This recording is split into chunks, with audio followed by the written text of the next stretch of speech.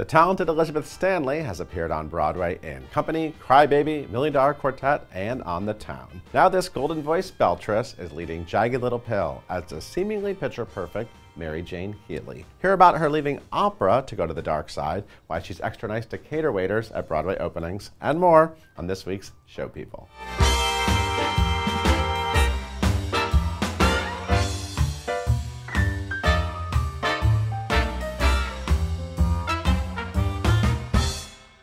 Welcome. Cool, good to see Thank you. you. It's so good to be here. How's life in Alanis Morissette land? It's just rock and roll all the time. You, you've actually done a lot of rock and roll things, though. Like over, over the years, like you, you do have this big Broadway theater career, but you've you've been like the cool rock and roll chick in a few things. I guess. In this one, you're like maybe an unlikely rock because you're actually Mary Jane. Right. Of course, if you're going to make a musical out of Jagged Little Pill, there has to be a character named Mary Jane. Yeah. Because there's a song, of course. Yeah. And, and that is you, Mary, Yeah. Mary Jane Healy. Correct. So I guess they had to invent the last name. Yeah.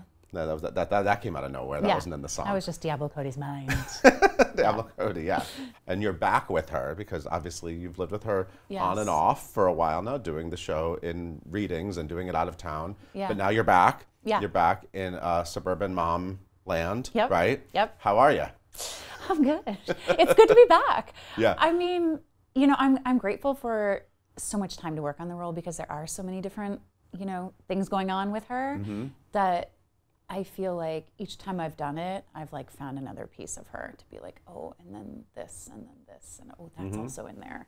When you're doing a role and then you're doing it on stage and then you're not doing it for a while, but you know that you're going to be doing it again, waiting for the news for it to come to Broadway. And Yeah. You knew it was coming and you knew you'd be playing the role again. Do you check in with her? I think yes and no Uh-huh. because she is kind of troubled. I mean, I think like things in the world catch my eye in a different Mm. way, you know, like opioids and parenting Yeah. and articles and things like that catch my eye over time in a different way than they would if I weren't playing this role. Mm-hmm. Jagged Little Pill is a woke musical, which is fun. I mean, that's great to have entertainment addressing social issues Yeah. in, in such a, a beautifully blended kind of way. Yeah. So w- let's talk about what she's actually going through. The musical basically starts as kind of like this maybe perfect suburban family, Right. and then you sort of find out they all have a lot going on. Right. You mentioned opioids already. Yeah. So let's sort of dig into it a little bit for the people who don't know. Yeah, so she is addicted to opioids as a result of uh, being prescribed them for a car accident that she was in prior to the action Right. of the play. But she's also a survivor of sexual assault,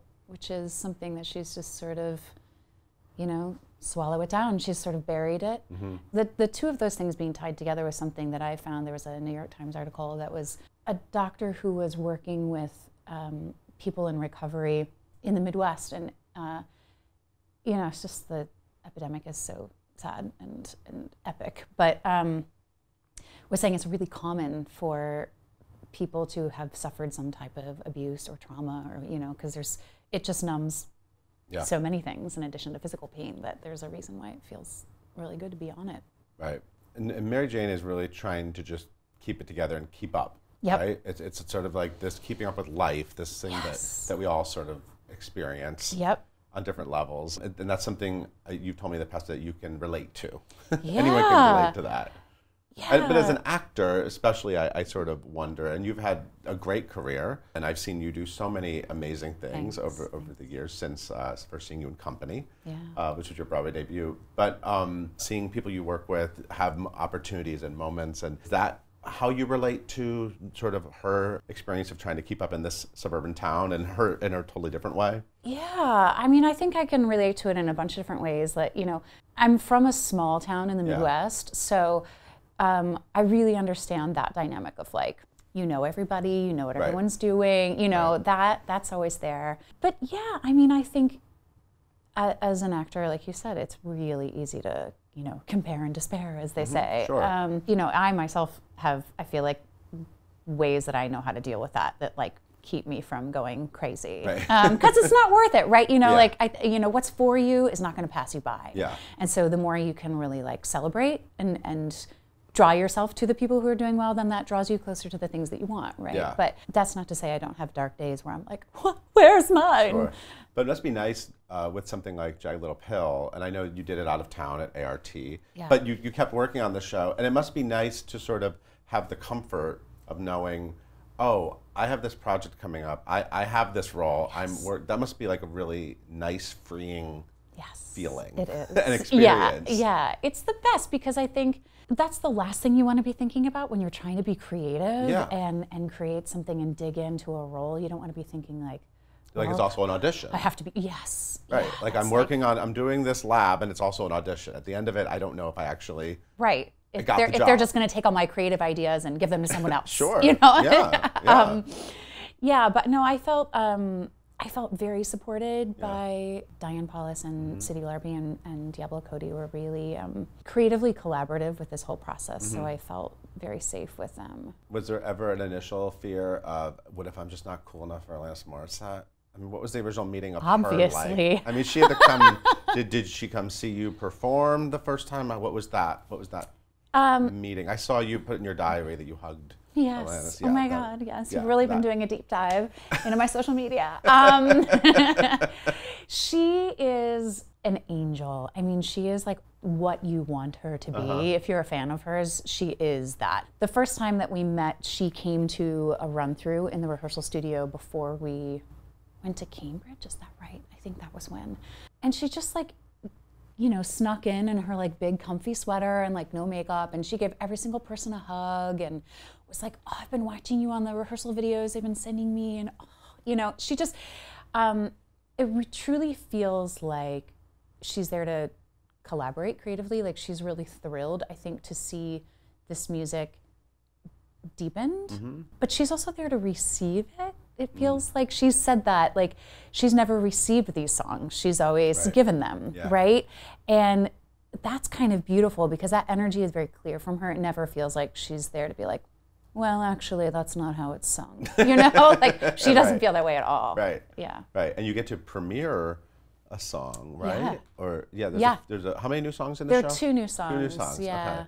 So you're actually premiering one of that's amazing. It's fine. It's no big deal. and it's like a recording of it and everything. Like you, Yeah. you have a cast album and Yeah. yeah, No, it's really Yeah. thrilling. I'm kind of like, wait, what? Oh, yeah, you're super cool. thanks. We're gonna talk more with Elizabeth Stanley after this break.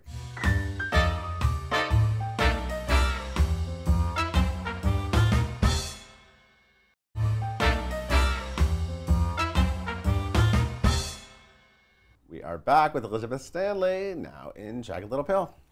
I want to go back a little bit. I've known you a long time, but I don't know everything about you, and I want to know about Jan and Chris and oh Iowa and the Midwest and piano and Okay, great. opera and all that stuff and playing a pig. I want to know all. I want to. I want to go through all of it. Okay, great. So Here we go. let's just let's go back to the. By the way, I'm really upset. One of the biggest regrets of my life is I didn't get to see you do Bridges Madison County. You did Oh. the national tour of that. It's one of my did, favorite yeah. scores. I know. But you, I would have heard you singing about Iowa Yeah. because yeah, Francesca Yes. was, was suffering through a life in Iowa. Well, yeah. beautifully suffering Yeah. to great music.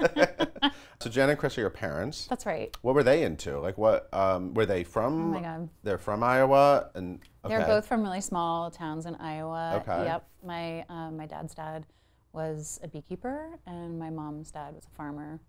Oh, Um, okay. So we're very You're of the Midwestern land, of the agricultural earth, peeps. Yep. nature, nature people. We I saw a picture of you in a barn. I saw like a sultry teenage version of you Oh in my a God. barn. Yes.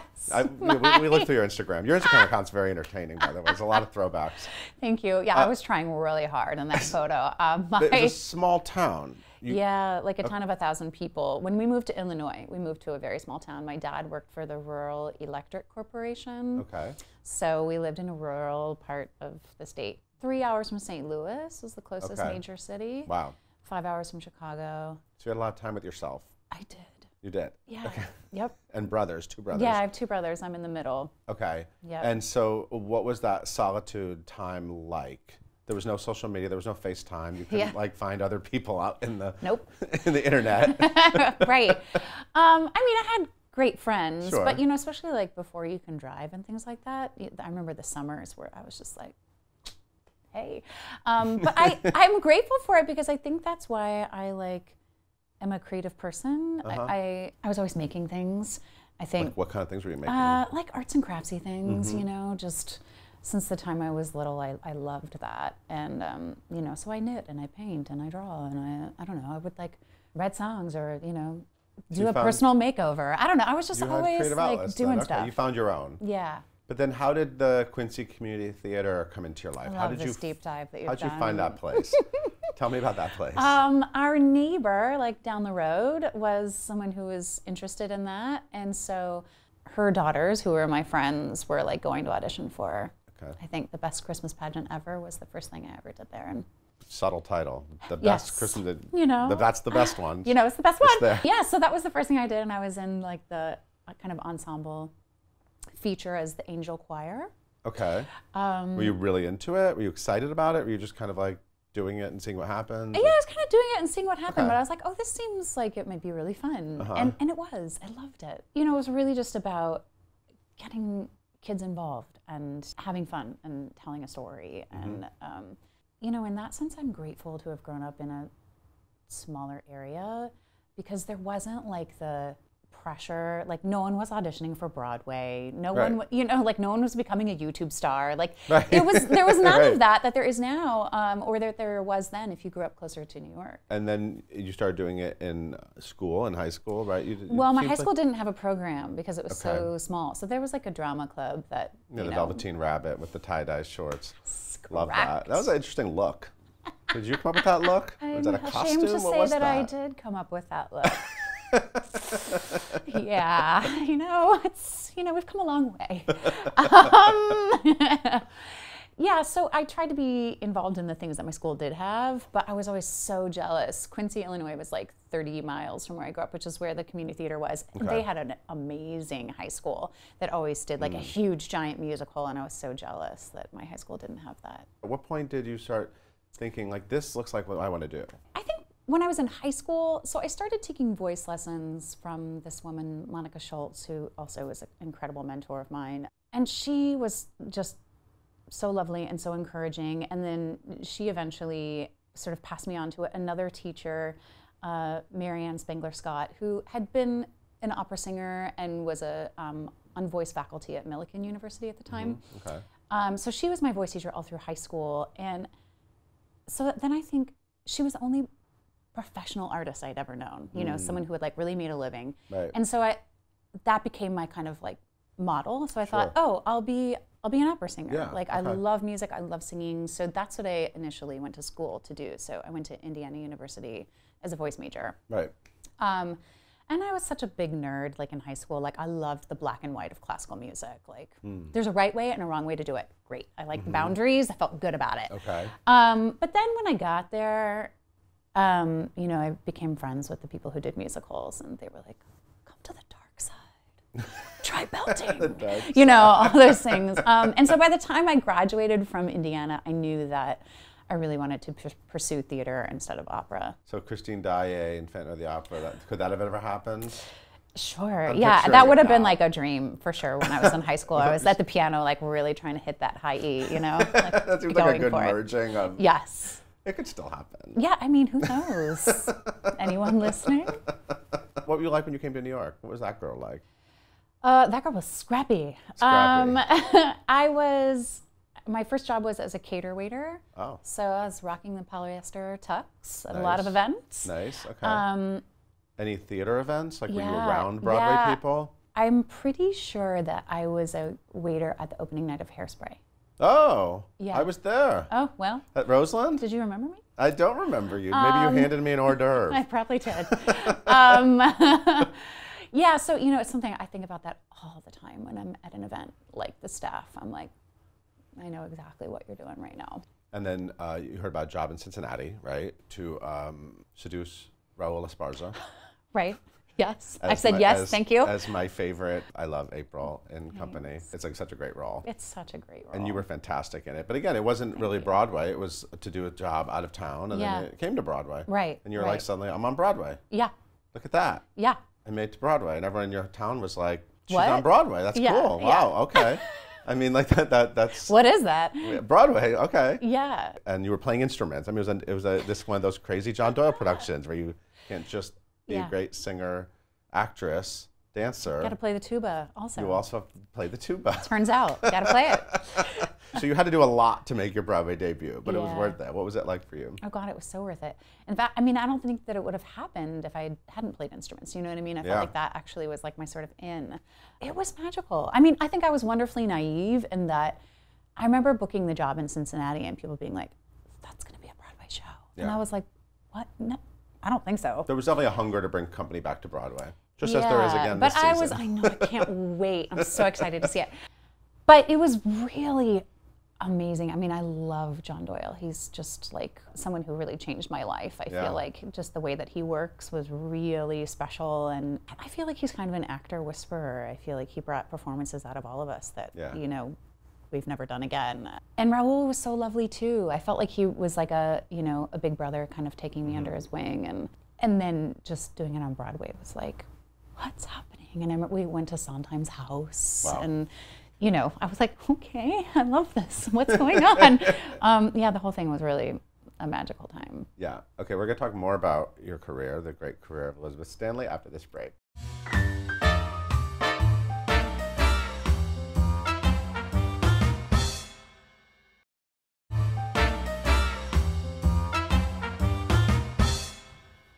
Back with Elizabeth Stanley, aka Mary Jane Healy, over at the Broadhurst Theater. I was so excited when you got this job in Jagged Little Pill because I've loved your talents ever since I saw you in company, and I've loved seeing all the things you've done over the years. But I was really like excited that you get this opportunity because you know Broadway careers are really interesting, and Yeah. and you don't really have control over where they're going all the time. No, not at all. And this is a nice, big, juicy role. Now, it's funny, I was thinking, I was thinking about April in Mm-hmm. Company, you know, the sexy, funny stewardess, and then you were the sexy uh, girlfriend in Crybaby, Right. Allison. I love Allison. The sexy girl in Million Dollar Quartet. There was, that was sort of like a little bit of a path, you know, and you were fantastic and on the town. But this is like a meaty, leading will become an iconic musical theater role and you get to create it i'm so thrilled when, when i see opportunities like this happen for, for someone like you Thank and you. uh, you, and sometimes you've told me before, you sometimes you kind of wonder, will an opportunity like this happen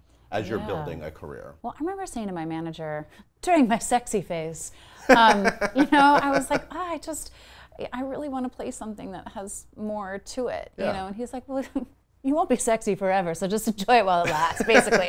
like, you know, in a very loving way, he was saying that. I was like, okay, okay. Um, but yeah, I mean, I this sort of just fell into my lap in a, in a way. Like, Yeah. you know, I got the audition and I did a self tape, and then I got the workshop of it. Uh, so it, it is. It's crazy how things just come to you, and then you know other things you feel like you work for and you work for, and Right. they're not for you. Right. Well, sometimes the, the work pays off in ways that you're not in control of. Right. I mean, do you, do you feel like a little bit of a veteran now? I mean, you have a lot of great roles under Well, your belt. Paul. but it also feels like you're also about to just, you know, introduce yourself in a different way to so many people with this role. Yeah. So it's kind of cool that you you do have this great history, but you're also going to be sort of fresh for all kinds of people that come to see the this musical and you know who are maybe not even really Broadway people. Yeah. So how does it feel for you to be at this juncture in your on your resume? really exciting. Yeah. Um, and and yeah, I'm I'm so grateful. It definitely is the kind of role that you know I've been dreaming of doing for a long time. Mm-hmm.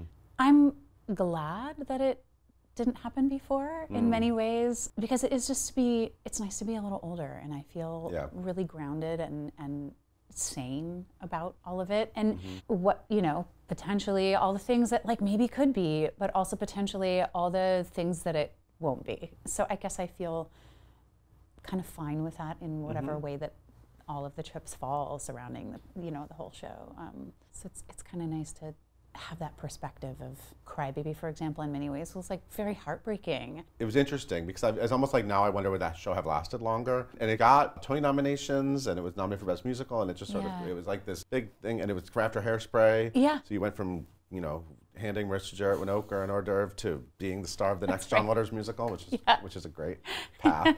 and then it just it was all this anticipation that just sort of like deflated kind of quickly. yeah Was that sort of a difficult one? Yeah, it was because you know it was my first time being a lead, a Sure. leading lady in a Broadway Right. show and originating something, and so again, you know how there was so much potential there. Um, but it was right at the time that like the internet was starting to really be an influencer, and the haters were out. you know? Right. I remember the producers calling us to the stage during previews and saying, don't worry, the show is not closing. We know that there's a rumor that it's closing. And we hadn't even opened yet, you know? Oh, and so there was just like doom and gloom all around. Um, but I'm really, really grateful for that experience. It was so humbling and Yeah. it taught me so much. It really, like, I had no idea how hard it is to create a Broadway show until Mm. I'd been through that experience. Because Company, because it was a revival, Right. It was it was kind of easy and blissful in, in a way that I didn't I didn't know the other side of it. So I'm grateful for having that wisdom. Yeah. Yeah, it seems like wisdom is something you sort of earn over over the years. Like you said, you enter a project with a very different perspective, I guess. Yeah. Yeah, so this time you're kind of like ready for anything. Yeah, the expectations are low. Do you know what I'm saying? Yeah. Because it's just like, oh God, anything could happen. Yeah. How is that company over at Jagged Little Pill? You guys oh, seem super I tight. love them. Uh, we had 'em all, we had all of you standing here for a great photo shoot a few Yeah. months ago. Um, Yeah. It seems like a, a great family. you can see the individual talent in every person on that stage and Mm-hmm. yeah i'm i'm wowed by all of them but it is i think the nature of the piece because you know it handles kind of delicate and sensitive Yeah. subject matter it's required each of us to bring our full selves to the piece and um, and that sometimes that's messy um, but i think that brings us together Mhm. How does it feel to be uh, one of the senior members of the company? well, I mean, you, you look fantastic, and you're still very Thank young. you.